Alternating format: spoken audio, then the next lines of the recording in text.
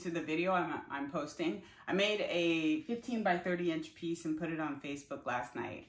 And it looks really cool. It's kind of like a, it looks like a swipe, it looks like a bloom, it looks like a pearl pour, pearl pour. And I put them all in one um, piece and I really like the results. But I realized in the video, I didn't tell you what I used and that doesn't help you. So I wanted to do a quick video to tell you the products I used so you can replicate this at home if you would like. I'm going to get you down off of my face because this is the fourth time I filmed this. And apparently I can't get this high enough for you to actually see what I'm doing. And so it's always out of frame. That's, ah. So let me get you down on the um, table so you can see what I'm doing. So, sorry, it's a little jumpy for a moment. All right. Ooh, too low. So, I'm just going to speak without you guys seeing me. So, I'm going to start with my base coat. It was the Payne's Gray. You're all crooked. Um, my, it was Payne's Gray by Golden, but um, to it because I wanted to see what would happen if I made this kind of a cloud pour too. Uh, I used the satin enamel in dark denim. So I made of 20 ounces or so. So I made, I put a Payne's Gray in there and I'm not going to tell you, I don't want to say how much Payne's Gray I used simply because it was golden. If you use another brand Payne's Gray, you may have to use less. I put in it, put enough Payne's Gray in there to get the color I wanted. Um, and it takes less of golden because it's so thick and it's so heavily pigmented. But I did add to that volume two teaspoons of the satin enamel. Now the pouring mediums I used in here are also a little bit different and they were very pur purposeful. I obviously wanted lacing and that's what I got. So I used the Australian Floetrol, but I didn't want to use that much because that stuff is liquid gold and I wasn't going to pour 20 ounces of that at all. But to the volume here, for 20 ounces of base coat, I used about five ounces of the Australian Floetrol, which is still a lot, but it doesn't kill that whole gallon that I have, or liter, four liters that I have. Um, so I used the Australian Floetrol, and then I used about uh, 15, uh, sorry, not 15, but 13 or 12 or 13 ounces of the American Floetrol. Now, I use the Australian Floetrol because it uses it creates lacing like a bloom. I use the American Floetrol because it's very good at selling.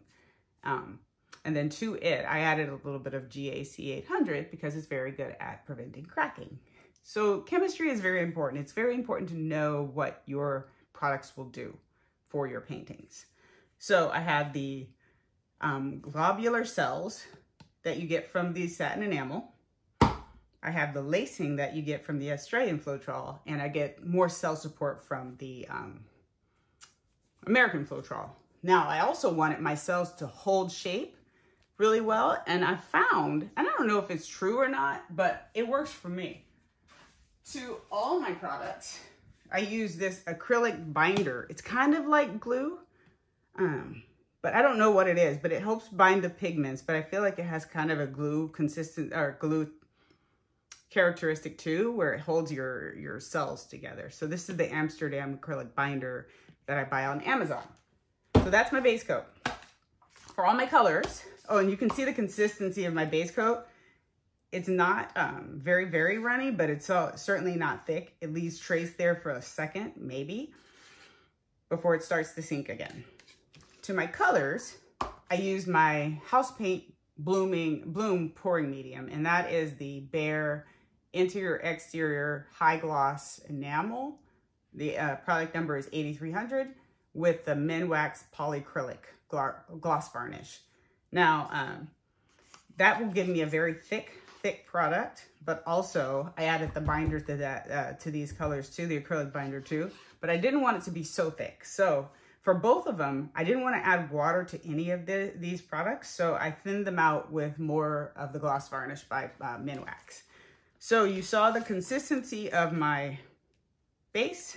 This is the consistency of my colors.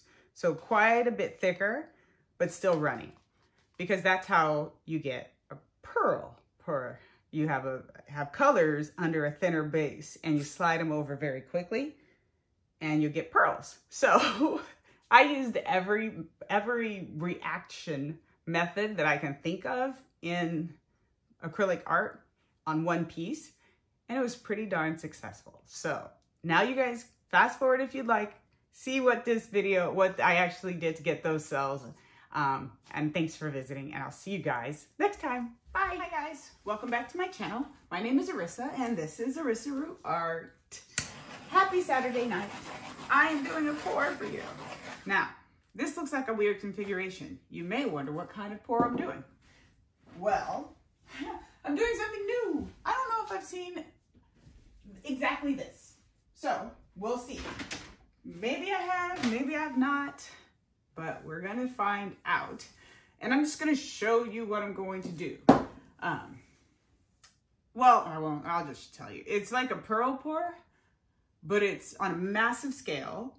It's with cell activators and it makes really, really cool lacing and I'm su super excited about it. So um, I'm gonna lay down my colors and as I lay them down, I'll tell you what they are. So this, well, I'll tell you basically what they are because this is a pink that is made up with so many different pinks. I don't know what it is. It's Pearl Pinks by Arteza as well as the Pebeo Studio Acrylics Iridescent Red or Blue, Red Blue, I believe. And so it's a bunch of different colors. So I'm just gonna lay this one down first, I think. And I'm just gonna lay it kind of everywhere. It'll involve a lot of different color, or a lot of color, volume-wise. And then I have the mixture of, this is like Winsor Newton bright green with a bright green by Amsterdam. I don't know. That's why it's hard for me because I've mixed so many different colors. It's hard for me to always tell what they are. Um, but I hope everybody's having a good Saturday night. If that makes you feel better. I don't know. It probably doesn't. Then I have the Pearl by DecoArt Americana Metallics. And to that, I know I've added the um, Interference Violet by Golden. So I'm just going to fill in my gaps here.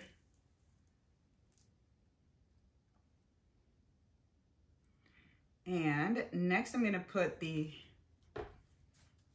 iridescent, uh, uh, precious gold, iridescent precious gold by Pebeo Studio Acrylic. I'm to go up a little bit into this here with that. And then finally I have my turquoise deep by Liquitex because it's just so gorgeous. And everybody should use tur tur turquoise deep. It's just a beautiful color. And then I'm gonna continue to layer some more colors. There's a lot of color in this, a lot of it. Kind of go up here. Uh, a little bit more of the green up here too. Why not throw them all in there? And it doesn't matter what the composition is doing right now. You will see what I'm gonna do with this. Ooh, I didn't want to do that. I didn't want to drip it there. So I'm gonna try to take some of that out and replace it. Okay, so I'm gonna torch, get rid of all the bubbles because I just mixed these paints. I'm gonna mix, torch it quickly because this is house paint and you can't, you don't wanna burn it. So now, time to get very messy. The last thing, oh, I almost forgot. I wanted to put some white cell activator throughout. So I'm gonna do that too.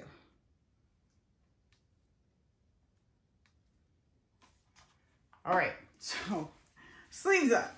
It's about to get fast, it's about to get messy, and it's about to waste a lot of paint, but in the end, it'll be beautiful. So I'm gonna pour a ton of paint right here, all the way side to side.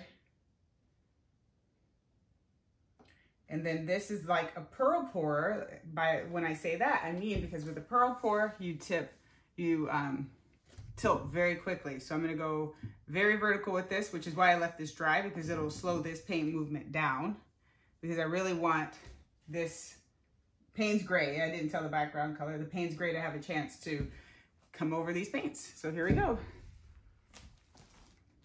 All the way over, just tilt it all the way around. And you want your paints to stretch.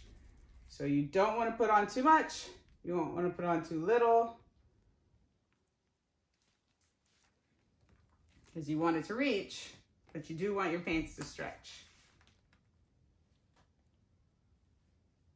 And you don't want to stop once you start um, tilting. Just tilt and tilt and tilt.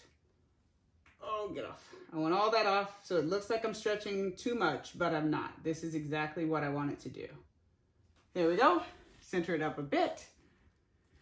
And there we go. So now is the, the waiting point.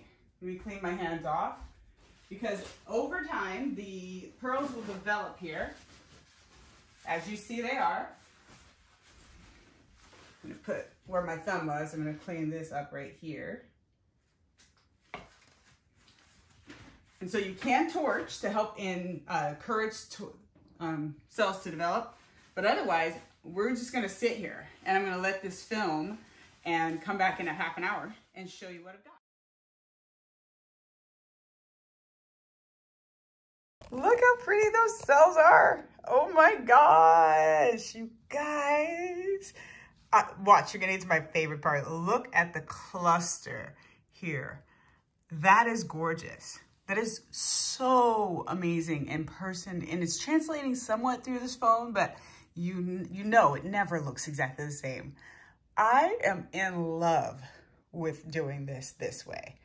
I am definitely going to do some more. Oh my gosh. Look at them and look the sides. They're so trippy.